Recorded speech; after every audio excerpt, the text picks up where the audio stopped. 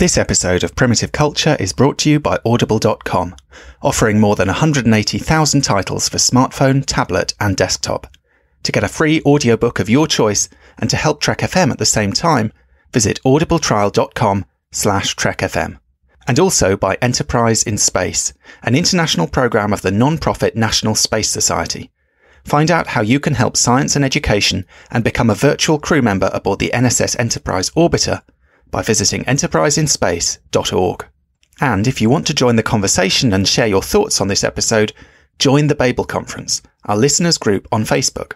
Just type B-A-B-E-L into the Facebook search field. We look forward to seeing you there. This is Tim Russ, Lieutenant Commander Tuvok on Star Trek Voyager, and you're listening to Trek FM. Open your mind to the past. Oh, this may mean something. I've been coerced into watching tonight's movie. You do have books in the 24th century. It's a primitive culture. I'm just trying to blend in. Some people think the future means the end of history. We haven't run out of history quite yet. Hello and welcome to Primitive Culture, a Trek FM podcast all about our history, our culture, and how Star Trek relates to it. I'm Duncan Barrett, and today I'm joined by Dr. Ethan Siegel, the author of a fantastic book called Treknology. Hi, Ethan, how are you? Hi, Duncan. It's my pleasure to be here, and thank you for having me on your Trek FM show. It's absolutely my pleasure. I, uh, I have mentioned your book, I think, once on a show uh, a few months ago. I picked it up a few months back and was absolutely uh, kind of entranced by it because I'm sort of fascinated. I mean, on this podcast, basically, we look at really the connections between Star Trek and the real world. But my background is I'm a historian, so I'm generally looking for kind of historical parallels and historical influences uh, and so on that have kind of fed into Star Trek's writers. But I am kind of fascinated by this idea of how Star Trek has also fed back into the real world. And I think this concept of technology, you know, as, as you term it, is really the the way to find that. And some of these, um, you know, I learned an awful lot uh, from your book. A few things I was kind of familiar with before, but a lot of things I uh, really hadn't realised at all that Star Trek has kind of um, extended its tentacles into the real world one way or another. You know, for me, this was a fascinating book to research and write because I have a feeling I learned more learning about these uh, technologies and what actually the last, you know, three to five decades, if you go back to either the start of Next Generation or start of the original series, how many of these, you know, futuristic envisioned technologies have actually come to fruition, or in many cases, how our real world technology in 30 to 50 years has surpassed what we envisioned the future would be like two or three hundred years into the future. It's amazing. I mean, funnily enough, I was uh, recently at the recent Star Trek convention in Birmingham. I was interviewing Rick Sternbach, and one of the things that I wanted to talk to him about was the design of the pad and the fact that, you know, when I grew up watching Next Gen in the 90s, that just seemed like such a kind of futuristic piece of technology. And now I'm, you know, literally recording this interview on my iPad. I mean, it's kind of, this is one of these things where sort of unexpectedly sometimes technology kind of uh, catches up sooner than we were imagining it was going to somehow. It's really fascinating. You know, I think when the iPad came out, uh, Michael Okuda, who is the uh, you know designer who designed the uh, many of the set elements on Next Generation, including the uh, the PADDS, the pads, the uh, you know these futuristic devices.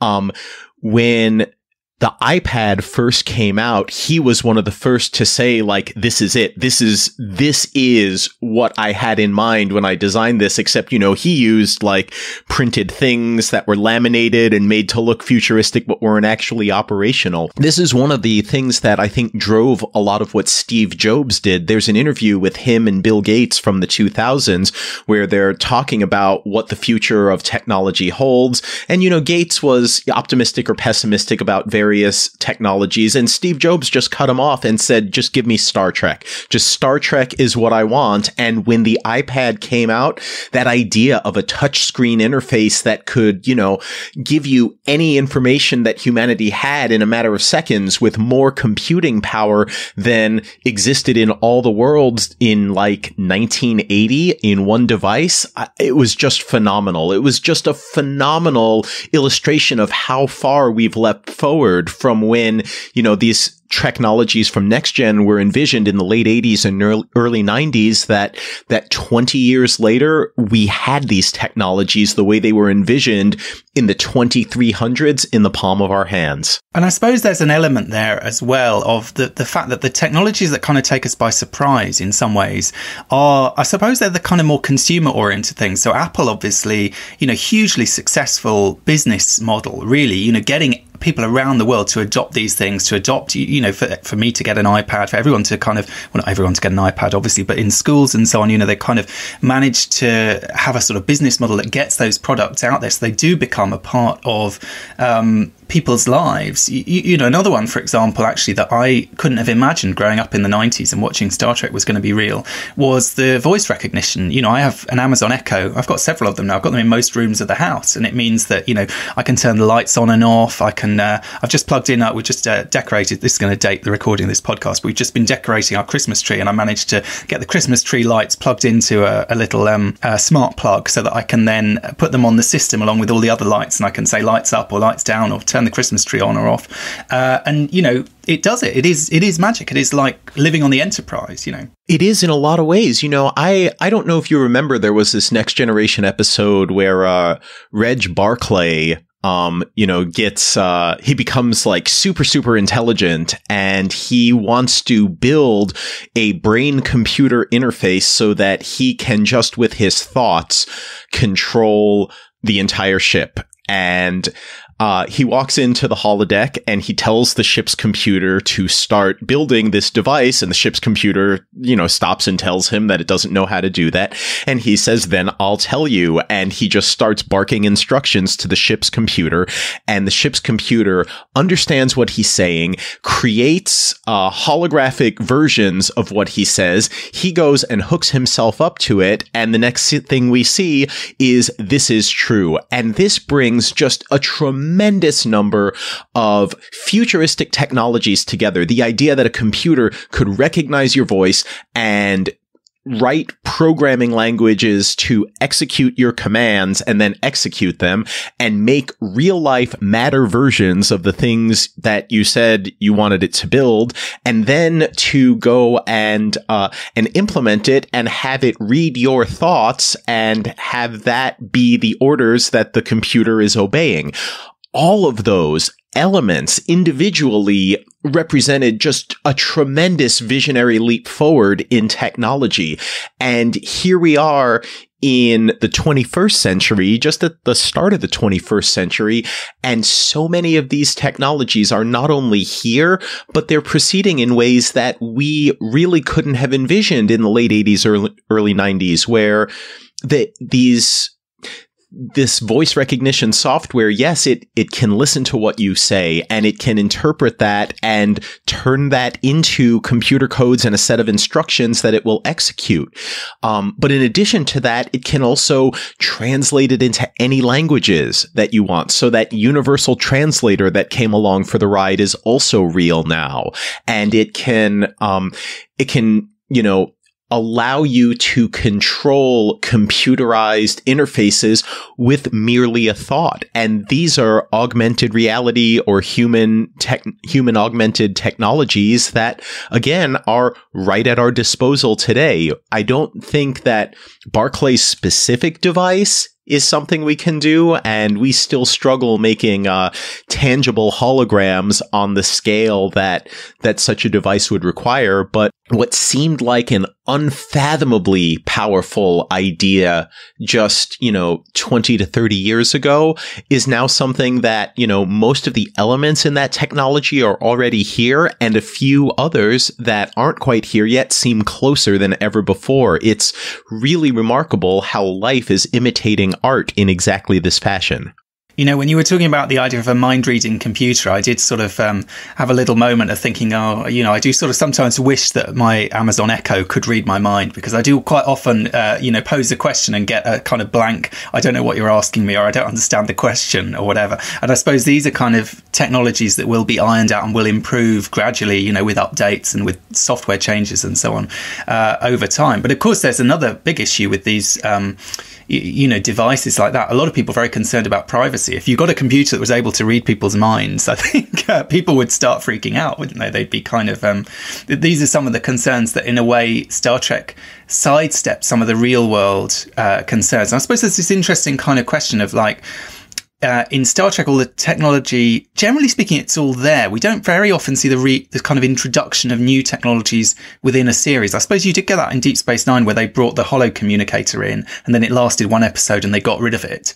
Um, and obviously, they now got this kind of continuity issue with Discovery and so on, where they had to kind of use the holograms, and then get rid of the holograms, and, and and all this kind of stuff. But I suppose there's these kind of interesting questions in the real world when these technologies come in we don't live in this perfect utopian future. You, you, know, there are kind of financial incentives. There are kind of business elements to it. There is kind of competition between different companies trying to do the same thing and, um, you know, almost working against each other. It's a sort of, um, the, the, the progress of technology in our world versus in the kind of fictional world of Star Trek obviously is different and the kind of motivating factors are different, uh, behind some of those changes. I agree with that completely. I think that the motivating factors, you know, one of the utopian aspects of Star Trek is how we were driven forward in, in the Star Trek universe, not by economic profit or human ambition or anything like that. We were driven forward by a, by a desire to better the entire species and by, and by extension, uh, every species, every intelligent species we encountered in the universe. Um, and that this was this was a, a, change in motivation in how from how we do business in the uh, 20th and now the 21st centuries. But the one of the things I really appreciate about Star Trek is that it was never meant to be divorced from these ethical issues that you bring up, where uh, privacy and uh, also related security are definitely among them. Uh, one of the I think, most stellar examples of where Star Trek uh, actually brings this up with the implementation of a new technology is when uh, Geordi LaForge in uh, the Generations movie uh, has his visor hacked by the uh, Duras sisters, uh, Lursa and B'Etor, and what they're able to do by hacking his visor, which, you know, is in many ways a uh, is a is an augmented reality technology because it allows him even though he's blind and doesn't have his optic nerves connected successfully uh, from his brain to his to the inputs his eyes get uh, he has this device a visor that you know creates a new neural pathway that allows him to see. It's actually more powerful than your eyes because it takes input from across the electromagnetic spectrum and allows your brain to interpolate it and reconstruct what appears to be a visual image. Well, they hack into his visor and they can see what he sees. So they get the security codes to the shields on the Enterprise and they inflict heavy damage on it. And even though the Enterprise is able to overpower this Klingon bird of prey, they st- sustain enough damage that they have to crash down on the planet. And this idea of a security or a privacy flaw uh, came back, came up in Star Trek in a very real, very consequence heavy fashion.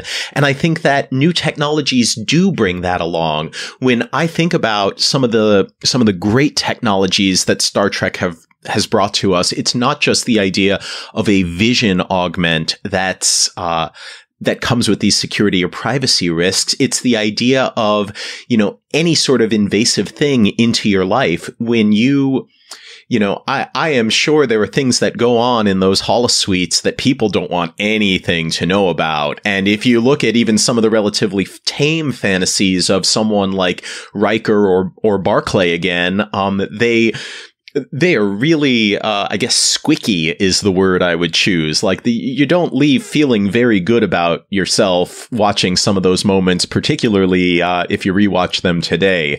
Um, but I think that I think that when you talk about ethics and privacy and security, these are these are real issues that Star Trek, I don't think, would be afraid to reckon with because it's not just about the development of these technologies and the new things it enables. It's also about the good ethical uses of these technologies for the right purposes that can often be corrupted and used for more nefarious ends. Like many people, I think, are justifiably worried about their privacy, their security. Um, it makes you wonder if, uh, if something like Yahoo or numerous banks can't even keep your password secure what is that going to mean for implanted devices where if someone hacks it, they could feed your eyes false visual signals, which could have real catastrophic consequences if you're driving on the highway,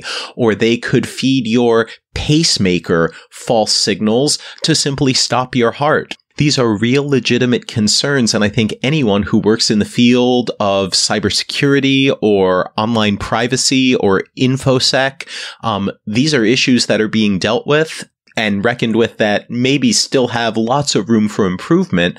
Uh, but also, I think uh, I think many of those themes about our fears around privacy and security are echoed uh, in many different aspects of a number of Star Trek series. Well, certainly, I suppose the more, I mean, as people begin integrating technologies more into their own bodies and so on, I can see that that will become definitely a, a greater concern. I mean, something like Geordi's situation, you, you, know, to us maybe, and certainly back in the 90s when we were watching Generations, that seems uh, not outlandish, but you know, it's it's definitely in the realm of science fiction. But I mean, we did have a story not that long ago of a, a couple whose baby monitor, where they had a you, you, know a Wi-Fi internet connected baby monitor, and they discovered, I think it was like in a Teddy or something, you know, with a with a kind of nanny cam in there, and they discovered some random guy on the internet was talking to their baby in the middle of the night, uh, you know, which understandably really freaked them out. And I don't know why. I don't know if he was just doing it to see if if he could get it to work or whatever. It was just a hacker or what the kind of motivation was. But that idea of that kind of invasion of your personal space and, and that idea that, you know, your, your Amazon Echo might be kind of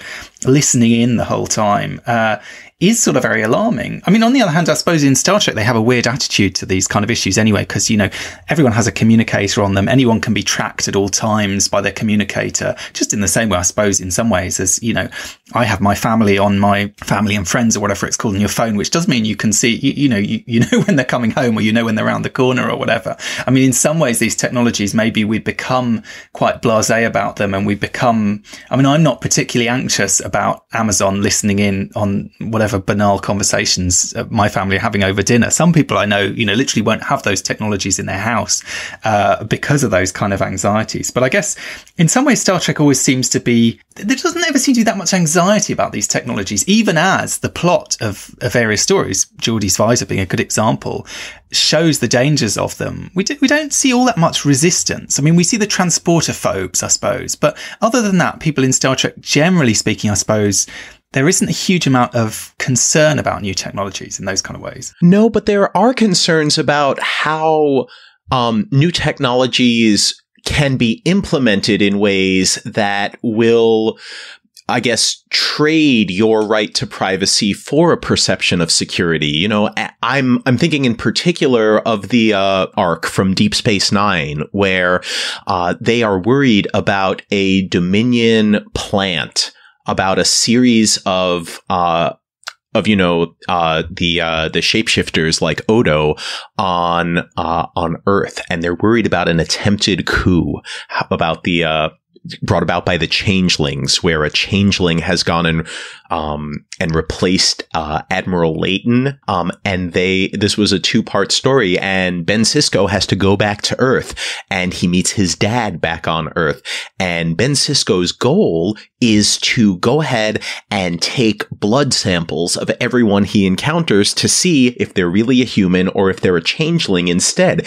And his dad starts patiently explaining to him that this is not what we do. This is not how we live. This is not how we use technology. We don't we don't force people to prove that they are who they are. We don't trade this level of privacy for this illusion of security. This is, this is not how we live. And Sisko, in what I think is a remarkable moment for Star Trek, uh, like this is something that I can't imagine happening on the original series or in Next Generation. Sisko just gets his Federation goons to hold his dad down and forcibly est- extracts the blood from him. And um, and you can see like Sisko's dad's face fall, and you can see the anguish on Sisko's face as he betrays his own principles for nothing. Because his dad is a human, he's just his dad with his dad's sense of ethics. Um, and Cisco has gone and violated his principles and violated his dad's trust and gained nothing from it. And one of the things I love about this, and this is maybe speaking to a darker aspect of my personality, is I love how they just have to live with it and move past it because there are still the threat and there's still the things that have to be reckoned with. But you've gone and traded your privacy for this illusion of security that hasn't actually accomplished or fixed anything.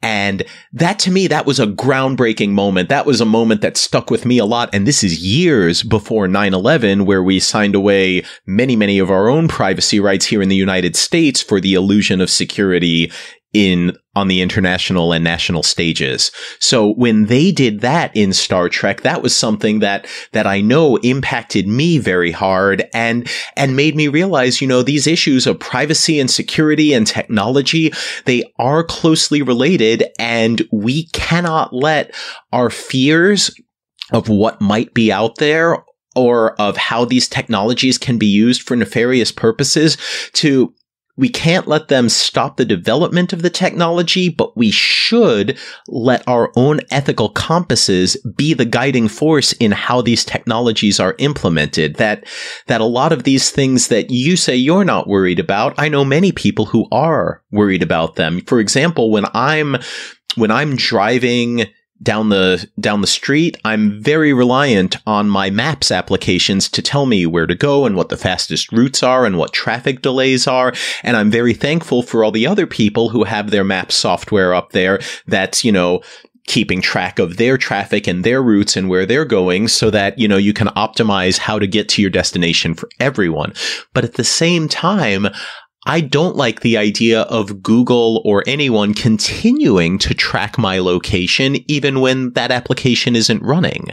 I don't really like the idea of there being an electronic record of where I am at all times or where anyone with any phone or GPS tracking device is at all times, uh, even if there are societal benefits because, you know, I think that that having that level of privacy just taken away from you you know, by default, I think that's a real issue that many, many people are not comfortable with giving up that aspect of their privacy. Sure, and I think that's absolutely fair enough, and I, I do completely understand that. I mean, it's interesting you you bring up Deep Space Nine with those uh, Homefront and Paradise Lost, those episodes, which I think you're right were very much ahead of their time. They're episodes that in subsequent years you sort of go back to and you think, wow, they really, you know, they they hit that on the head in a way that maybe we didn't even notice um, somehow as much uh, at the time, and it kind of, I suppose, does tie in with this sense that Deep Space Nine of all the Star Trek series is maybe the most wary, is the most cynical about something like that, something that we might think of as trustworthy.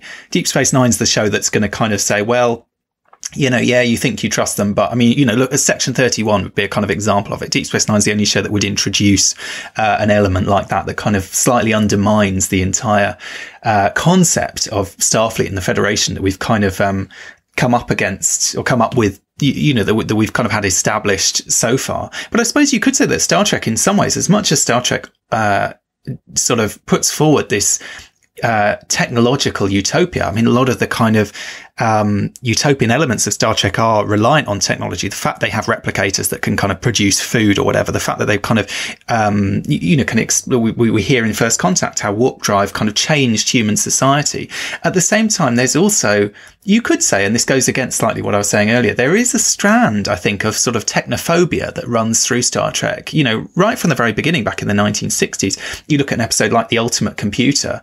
It's very much about this idea of technology being kind of opposed to the human somehow, about this fear that technology is going to kind of change us and change our lives and strip something away from us. And then even, you know, with kind of developing technology, something like um, genetic engineering, we get the story, it's the kind of Frankenstein story where, you, you know, we, we meddle with things and it all goes wrong. And there's this kind of sense of, you know, scientists pushing the boundaries in way that they, ways that they shouldn't one way or another. So I suppose in some ways you could say Star Trek, because it's a very humanist show, is always slightly walking that tightrope of celebrating the technology of the future and in the real world, absolutely inspiring a more advanced, more comfortable, uh, technological future, but always or, or at least intermittently with this kind of caveat of, you know, well, but you know, just be careful you don't. I mean, almost people talk about now, you, you know, people walking down the street with their phones in their hands, kind of, you know, being sucked into their technology.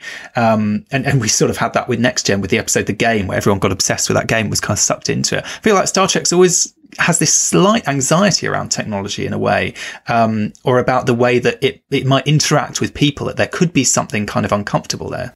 I agree with that completely. I think that for me, when Star Trek is at its best, what it does is it translates our present anxieties about many aspects of society, including and maybe particularly about the frontiers of technology and what we have to gain or lose, uh, as they as they become elements of our of our daily lives. Um, I get really interested to look at this and sort of see, you know what is this anxiety that we're seeing played out on original series, Next Generation, Deep Space Nine, Voyager, Enterprise, Discovery, or in any of the movies, what are these anxieties about? And they're, to me, they're always about that fine line between how a new technology can enable a utopia or how it can enable a dystopia depending on how it's implemented. And so when you talk about, you know, genetic engineering, I don't think there are very, very many people who will say, you know, Hey, we have the ability to, uh, prevent your unborn child from being born with these, uh, you know, challenges that will certainly afflict them throughout their whole life. Or we could just flip this genetic switch and your child will be born, uh, you know, completely typical without these, uh, difficulties that someone who has these mutations in them will endure. I think there are very few people who would argue against the ethics of that, but you go far enough down that and you start optimizing genetics for what you believe will get you the, the most optimal outcome. And all of a sudden you run into a civilization that loses its genetic diversity or you run into a dystopia like they portrayed. I know this is not Star Trek, but in the movie Gattaca, or you can wind up, you know, weeding out genetic traits that are actually beneficial to society because you have a twisted view of eugenics, or you can wind up with the dystopia that they actually, you know, put forth in Star Trek that you spoke about, which is that you get Khan and then, you know, 20, 25 years later, you get Wrath of Khan. And these are, these are iconic Star Trek moments that really do hit on this notion of what makes us human, what makes us truly civilized and advanced and and it puts right up against that the technology that we're developing that's burgeoning and how do we put it to good use while still being ethical?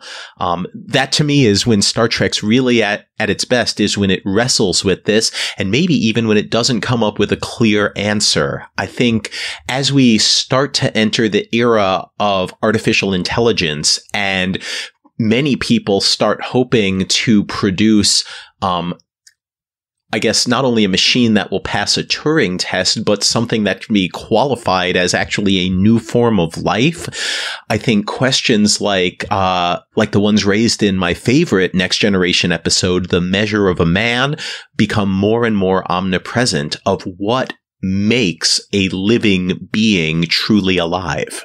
Absolutely, and these certainly are are questions that you know perhaps we will need to kind of wrestle with on a sort of philosophical level um, sooner or later. And, and, maybe it's good that we've had Star Trek kind of laying the groundwork for 50 odd years, you, you, know, kind of preparing us for some of these dilemmas and for some of these questions. And, and I'm sure that there must be, I, mean, I don't know if anyone's ever researched this, but there must be a kind of um, an influence of you know people who've grown up as as I have you know watching Star Trek watching episodes like The Measure of a Man if those people do then go into kind of artificial intelligence and so on that must at some level play into their kind of attitudes towards these kind of issues. Because I mean even within Star Trek there was there have been um, it's it's been a slightly grey area. I remember reading a pair of interviews um, with Jeri Taylor and Brannon Braga, both of whom were kind of showrunners on Voyager, talking about the character of the Doctor. And the interviewer asked both of them the same question: Is the Doctor alive? And Jeri Taylor said, "Of course he's alive. What a stupid question. What do you mean?" And Brannon Braga said, "Don't be ridiculous. He's not alive."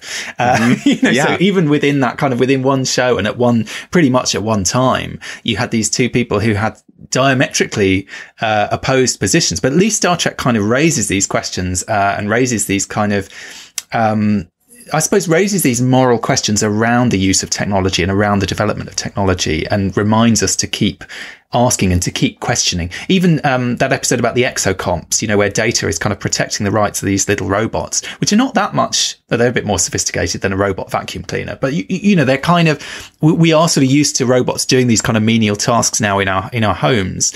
Um, and it does sort of raise these questions like how do you treat them? How do you, you know and how do you how do you treat the amazon echo? Do you shout at it? Do you get angry with it? Or do you feel i mean i sort of i've got a four-year-old son. I, I, think i would anyway but i certainly feel it's important to set an example to him that we are quite polite towards the echo even when it is slightly infuriating and it gets things wrong the whole time that you kind of don't lose your rag with it. You know you kind of treat it with respect somehow. That that feels important to me somehow uh, partly because it sort of has a human voice and everything i suppose. But i guess there is an interesting question there about our our interaction with technologies and our interaction with machines and how we uh, govern those relationships and those interactions. I agree completely. And I think uh, the data with the exocomps episode is a really interesting one. I think the episode where they have the nanites in Star Trek is a really interesting one for that. Um, because what do you do when a machine demonstrates that it goes beyond its initial programming? And what do you do when a machine, um,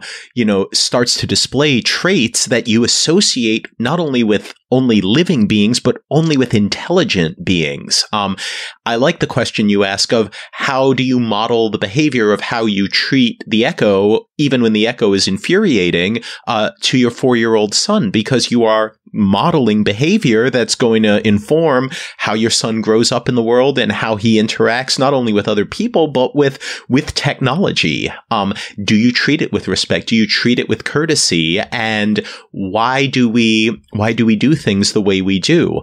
You know if i were to go back to measure of a man i can remember like Riker gives the uh, Riker gives testimony arguing that Data is not a living being, and it's very compelling and straightforward and easy to follow. And Captain Picard's rebuttal is actually not focused on removing or erasing Commander Riker's point, but instead arguing that here are the three criteria that we need to say are met for something to be considered alive. And it meets criteria one and it meets criteria two. And here's criteria three. And does data meet criteria three? And the answer is he doesn't know. No one knows. So what do we do in the absence of knowledge? In the absence of certainty, which side do we err on? Do we err on the side of saying, well, I don't think it's alive, so it's not alive, so let's kill it and its property, and there's that? Or do we err on the side of maybe this is alive, and if I cannot beyond a doubt demonstrate that it's not a living being, then maybe I have to give it the rights of a living being. And that to me was a very interesting framing of the problem because it sort of sti- sidesteps the issue of let's answer this unanswerable question and instead tells us in the face of uncertainty surrounding this question, what should we do as far as our actions go? And that to me was, uh, you know, I think I was maybe, you know, 14 or 15 when I saw that episode. That was a revelation of a, a new way to think about a difficult problem that I hadn't considered up until that point in my life.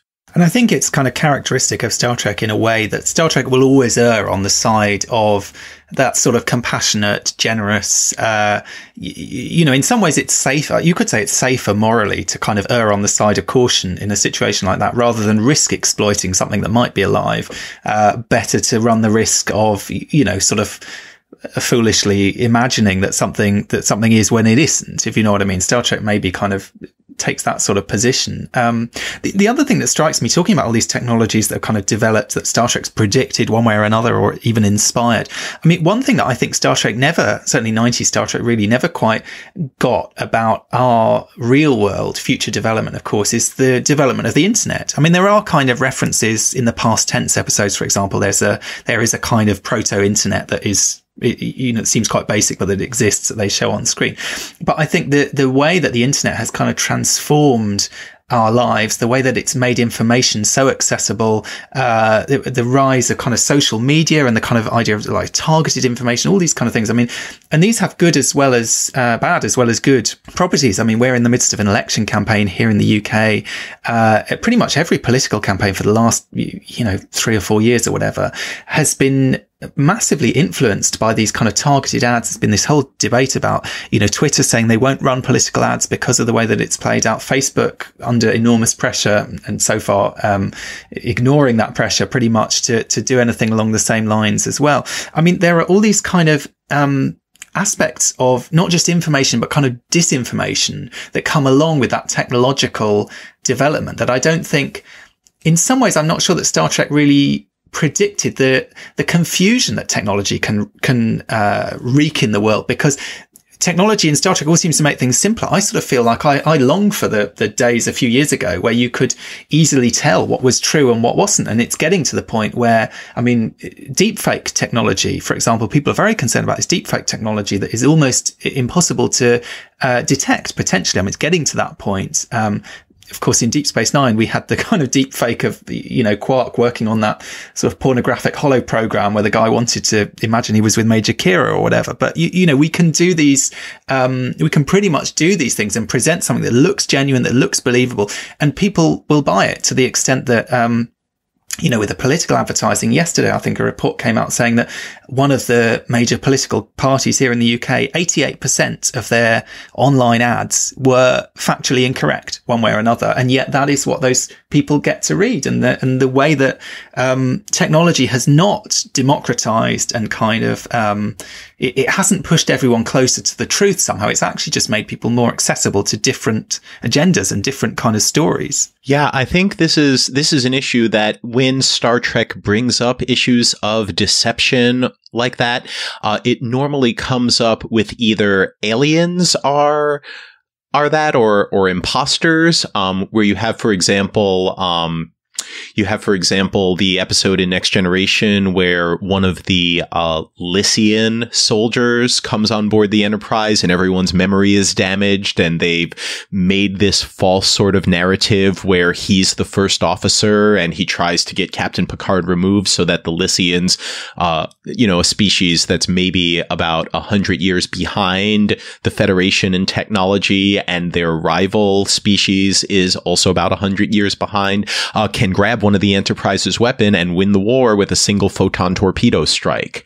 Um, that's how I think that typically comes up in Star Trek. You know, you have the you have the changelings from Deep Space Nine that can impersonate someone, but that's that's their alienness. You have uh you have Lorca from the Mirror Universe who comes in in Discovery and poses as Prime Universe Lorca uh, for his own ends in the Mirror Universe, and that's um you know, when you think about these things, you see like, okay, it's not really technology that's driving this. It's that there is, there is the need for a deception and the technology can help enable it, but the technology itself is not to blame. We even see that in the episode where, uh, where Wesley Crusher gets busted for trying to cover up a piloting stunt that he and a few of his friends at Starfleet Academy performed that resulted in the deaths of one of their fellow students. Um, that's really, I think, where Star Trek might bring up these issues that we think about today tangentially, but isn't really bringing up how technology makes these, you know, makes these, I don't know what to call them, but, but, you know, helps fake either news or fake people or fake ideas or a falsely rewritten history uh, become canon in that universe. And I think that's a uh, that's something that Star Trek explores, but not in the way it's actually played out in our society. And I, I do find that interesting, uh, not necessarily as a deficiency of Star Trek, but as something that I'll say maybe Star Trek didn't anticipate and hasn't yet reckoned with. Absolutely. I mean, I suppose although you do get, I guess the the the big exception to that kind of version of events, and I think it is a, a notable exception, is the episode in the Pale Moonlight when you do have literally uh, Sisko effectively and, and Garak really doing the legwork, um, creating this this act of forgery, this fake, you know, famously you've got that meme, it's a fake. Uh, and of course it is discovered. I suppose the other thing in Star Trek is it's u- usually this kind of fakery is discovered fairly quickly. I mean, even there are episodes where someone, you know, projects, uh, uh, pretends to be a, you know, they pretend their ship has the signature of a different you know, a different race or whatever. And the, and they seem to have a way of like doing a sort of fake view screen and so on and projecting that. But there's always this sense it's not going to last for very long. They're going to be discovered quite quickly. And usually, in fact, when there is a deception of one kind or another, it is the technology that's kind of uh, going to solve it. I suppose there is a kind of we could say generally speaking there is more of an optimism. Maybe there's more of an optimism in, in star trek certainly you know going back to 90s star trek uh, than there is in some ways. I feel i'm standing and you know we are as i say in that literally the final day of a particularly uh, not the only recent particularly divisive and difficult election campaign and so on. I think that kind of plays into it all. But maybe we could say star trek is more um, optimistic about kind of the truth coming out and the kind of um, the safety of, of some of these technologies one way or another. But I feel we've been, we've I've I've taken us down a very dark, gloomy mode. And actually, what I you know I wanted also to sort of celebrate a lot of these things that you touch on in your book and and to recognise really for me, I mean. I remember going back into the 90s reading um, Lawrence Krauss's book, The Physics of Star Trek, and sort of feeling how kind of out there a lot of these things seemed then. And admittedly, I think a lot of the kind of uh, big, you know, warp drive transporters and so on, we, we haven't still quite got to those things yet, but we're kind of edging closer to some of them. And a lot of these more practical things, you know, whether it's pads, hypo sprays, tricorders, communicators with the flip phones, 3D printers, which are basically kind of replicators, uh, USB chips, which are basically, um, you know, isolinear chips and USB, um, discs are pretty much the same thing. Even you mentioned, you know, virtual reality, augmented reality, you've got the kind of Google glasses, all of these kind of things. It does feel, uh, you, you know, like in an incredibly short amount of time, a lot of this has come to pass one way or another. I mean, uh, were you surprised when you kind of looked into it doing the research for this book, just how many things? Because some of these things I think we take for granted and we don't even think of. I mean, it, I don't know why I'd never really made the connection between a USB drive and an isolinear chip, but it is basically exactly the same thing.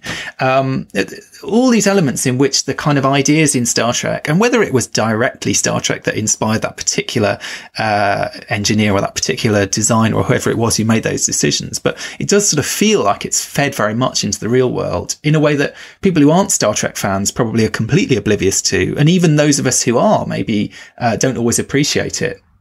You know, I think I think it's really fascinating when I when I approached this book, um, my first thought was not to think about what are the technologies in Star Trek that have made it in the real world. That didn't even cross my radar. What crossed my radar instead was let's take a look at what technologies Star Trek put out there that were either meant to be futuristic or were in their infancies but were not ubiquitous yet, what were those technologies that Star Trek and Star Trek The Next Generation sort of envisioned?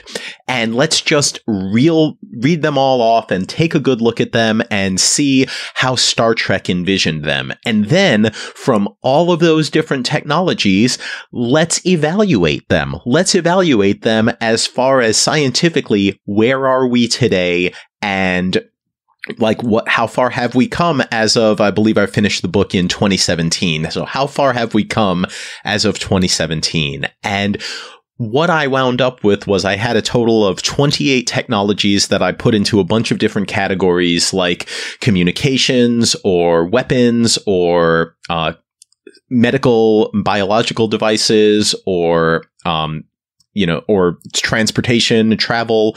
Uh, so we put these into these categories. I wound up with a total of 28 technologies. And what I found was remarkable that only four of them of these 28 would require some kind of new physics that we don't know today in order to bring them to fruition. That 24 of them were either possible and on their way or already here, or in some cases had already surpassed the vision that Star Trek laid out for them, especially on the computational and medical device front. Uh, many of the advances we've made were really they go beyond the dreams of Star Trek at this point in time. And that to me was, was really fascinating. I remember I was in high school when Lawrence Krauss's, uh, The Physics of Star Trek came out. And I remember reading that in high school. And, you know, 20 years later, uh, I'm the one writing a book on this looking at many of these things that Krauss had said, like, ah, these will be impossible. This will never happen. And then 20 years later, here we are and there they are.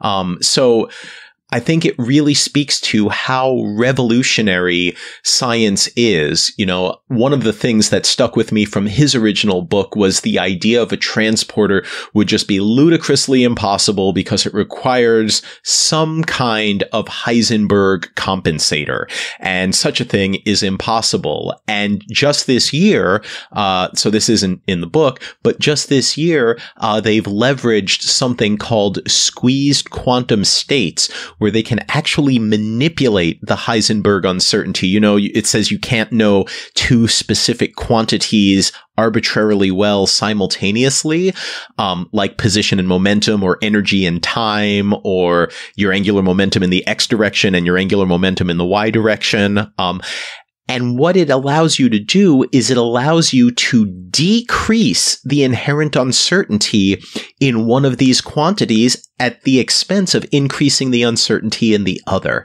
And that very idea, that was something that wasn't even on my radar in the mid 1990s when that book came out. And yet here we are. And not only is this now on my radar, but this is something that's implemented in some of the most advanced experiments like the LIGO gravitational wave observatory. Um, that that these are just in use now.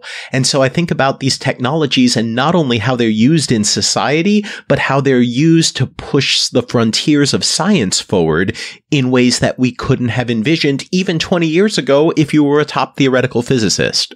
Absolutely, and I mean a lot of the the things that do seem kind of impossible. I mean, I suppose the transporter is one of the things that it feels like a kind of magical device almost, and, and we know that it was invented for Star Trek as a way of saving money on you know having shuttles taking off and landing every week, um, and it, it is absolutely. I, I sort of sometimes think you know what of all these technologies, what's the thing that would change my life the most? I mean, you know, the transporter would just it would make life a breeze, wouldn't it? You know, there'd be no more commuting, there'd be no more long haul flights. You know, all of these kind of things in our, in our our sort of everyday lives, it would it would make so much easier. But then so many of Star Trek's technologies. I mean, you know, the replicator. I mean, I mentioned you know we have okay we have 3D printers and so on, but you know if you were able to replicate unlimited supplies of food and it, and if you had the kind of social uh, arrangements and the kind of political arrangements to make that food available you could kind of end hunger overnight almost you know what i mean there there are these kind of potentials for these technologies to uh, to really change the world. But equally, you know, as I mentioned, something like the internet. I mean, the internet has absolutely changed the world in in profound ways. You know, both good and bad, I suppose. Um, uh, and I guess Star Trek is very invested in the idea that future technologies will change the world in new ways. You know, warp drive will kind of um, make us reevaluate our, our place in the universe, these kind of things. But I guess there is, you know, maybe there is some kind of hope that with more of these technological breakthroughs, one way or another, um, who knows what the kind of impact might be, uh, and and maybe there is grounds to be optimistic as well.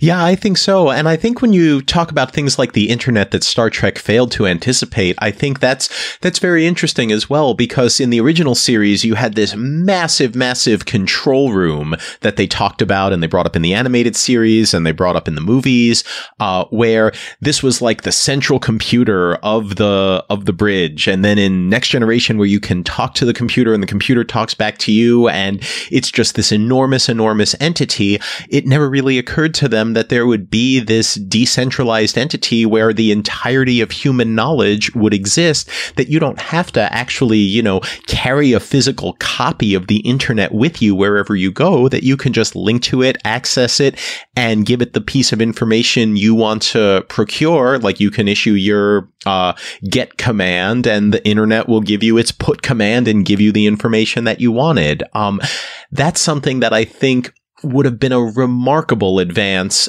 that Star Trek did not anticipate. And, and I think that that's, that's fascinating to remember too, that even as we try and anticipate what the future technologies that will transform our world will be, um, that's not something that's ever going to be entirely predictable. I think the successes that Star Trek has had on that front are all the more remarkable because of the ways we are unable to know what technologies will arise, when they'll arise, and how they'll be able to be done. On the other hand, you have technologies like a phaser, which I know the United States military has built a prototype of, which I think if that ever becomes ubiquitous, it could revolutionize uh, a whole slew of things, including and maybe especially law enforcement. That the ability to disable but not harm a target from a large distance away with extraordinary precision, like that, that holds so much potential to save lives, to reduce police brutality, to, um, to reduce crime in a way that I don't think any of the other technologies we have today um, or are working on developing today could have foreseen. So sometimes I think you need the advanced vision like Star Trek gives us. And sometimes you don't know what that final product is going to look like because you cannot predict how technology is going to develop and unfold. And often there is an element of inspiration, I suppose. And as much as, you, know, Star Trek has proved an inspiration to real world uh, designers, uh, innovators, and so on. I mean, Captain Picard had that great line things are only impossible until they're not. And I suppose there is that kind of sense of, you know, in order to create something new, you have to be able to imagine it first. Yeah, that's true. And a lot of the things that we think are impossible either because they're impractical or because they violate the laws of physics as we know them. Um, oftentimes there are new applications of existing laws in addition to the possibility of discovering new laws, where suddenly a technology that was impossible falls within the realm of possibility. And I think something like the uh, like the transporter or warp drive, that's the category that those technologies for uh, which are two of the four that that are currently impossible with existing technology. Um, those are ones that could all of a sudden become possible if we either found some new type of physics or some new implementation of existing physics that we're unaware of today. And that, that's something I find fascinating and gives me extreme hope that many of the problems facing our society today, facing our world today are things that advances in new technology, particularly if we focus on advancing technology in an ethical fashion, can be used to improve our world in the future. Well, Ethan, it's been an absolute pleasure talking to you about the technology of the future and the future of technology. Um, before we go, do you want to let our listeners know um, where they can get hold of a copy of your book and uh, if they want to contact you on social media or maybe continue the conversation there, where's the best place to find you? Sure. So I am Starts with a Bang on Twitter, on Facebook, and on my blog on Forbes. And my book, Treknology, The Science of Star Trek from Tricorders to Warp Drive, is available uh, wherever books are sold, including on Amazon all around the world. And uh, if you're interested in continuing this conversation, I encourage you to follow me on Twitter and reach out. Well, it's been fun talking about technology, but that's not the only thing we've been doing on Trek FM this week. So here's a listen to what else you might have missed out on on the network. Previously on Trek.fm, The Ready Room. Did I ever tell you the story about how Channel Channel 4 in Oklahoma City played Next Generation at 10:30 because that's when they had played Yeah. the original series reruns the last time they had a shot at it. Yeah. And you think that's insane, but their thinking was, "Are you kidding? Do you know what kind of ratings we get with Star Trek at 10:30 on Sunday night after the local news? We'd never get those kind of ratings with anything else." And I'm like, but you would get even bigger ratings if you put it at a normal time. and so they finally, going into fourth season, they had a big, cl- like, okay, fine, fine, fine. But Best of Both Worlds Part 2 of all the times to change the airtime and then not tell? They didn't promote it? To the journey! Another interesting statistic on this while we're talking about it is that past a certain point in human history, I forget the exact number, but I, I read an article on it. But past a certain point, anyone who is alive at that point is statistically likely to be an ancestor of everyone alive today. Well, that just sort of broke my brain. Can you? I know it's weird to think about that. If you go far back in time enough in human history, at a certain, it's like a crossover point Yeah, almost, where yeah. anyone alive at that point, at prior to that point, is likely to be an ancestor of every living human today. Gosh, that's an amazing stat. Statistically, Yeah, that's an amazing stat. The Edge, a Star Trek Discovery podcast.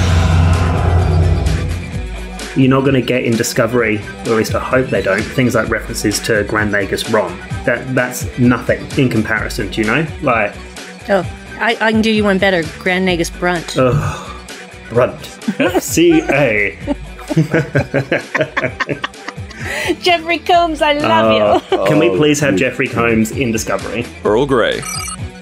How are we bettering ourselves? And the way that it seems to be is through high culture. Well, I think it also ties into this kind of utopianism of Next Gen. I mean, Next Gen is the most. I mean, people say Star Trek is utopian, and I would broadly agree with that. But Next Gen is absolutely the most utopian.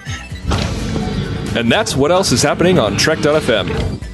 Check out all these shows and join the conversation about your favourite corner of the Star Trek universe and beyond.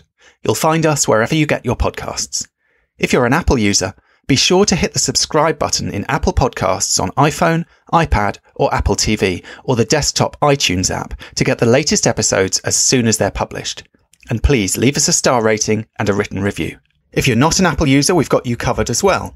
You can find our shows on Google Play Music, Stitcher, TuneIn, Spreaker, SoundCloud, Windows Phone, in most third-party apps, and you can stream and download the MP3 file from our website or grab the RSS link. We'd love to hear your thoughts on today's show, and there are many ways for you to do that. The best place to join in the larger conversation is the Babel Conference, our listeners group on Facebook. Just type Babel, B-A-B-E-L, into the search field on Facebook and it should come right up. If you'd like to send us an email, you can use the form on our website at trek.fm slash contact. Choose to send to a show and select Primitive Culture, and that will come right to us. You can also find the network on Twitter at TrekFM and on Facebook at facebook.com slash TrekFM. If you'd like to help us keep all our shows coming to you each week, you can become a patron of the network on Patreon. Visit patreon.com slash TrekFM. That's P-A-T-R-E-O-N dot com slash TrekFM to get all the details. Perks include early access to episodes, exclusive content, producer credits, and more, available through our special patrons website, Patron Zone. It requires a great deal of money to produce, host, and distribute these shows each month, so we really appreciate any support you can give us, and we hope you'll join the team. Again, you can find all our details at patreon.com slash trekfm. We'd like to take a moment now to thank our associate producers on Primitive Culture, Amy Nelson, Clara Cook, and Tony Black. Amy is a presenter of many other shows on the network, and you can find her on Twitter at, at Miss Amy Nelson. Clara and Tony were two of the former co-hosts of this show, and they'll be popping back from time to time. You can find Clara on Twitter at, at ClaraGeneMC and Tony at, at AJBlackWriter.